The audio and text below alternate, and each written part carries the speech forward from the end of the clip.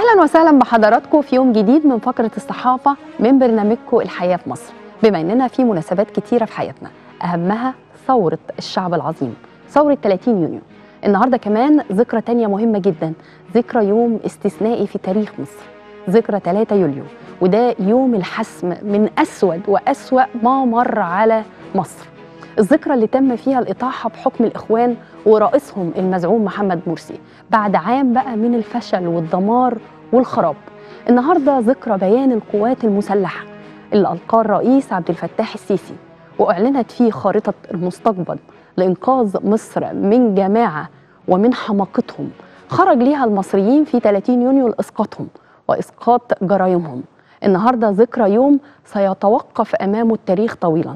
ذكرى استجابة القوات المسلحة لنداء الجماهير.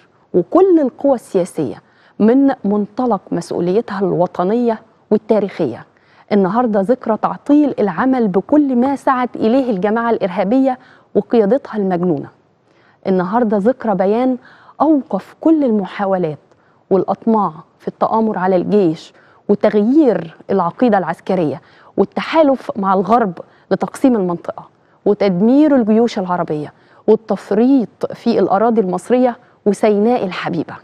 النهاردة عمره يوم ما هيتنسي لأننا بذلنا فيه كل الغالي والنفيس من أجل مستقبل شعبنا العظيم.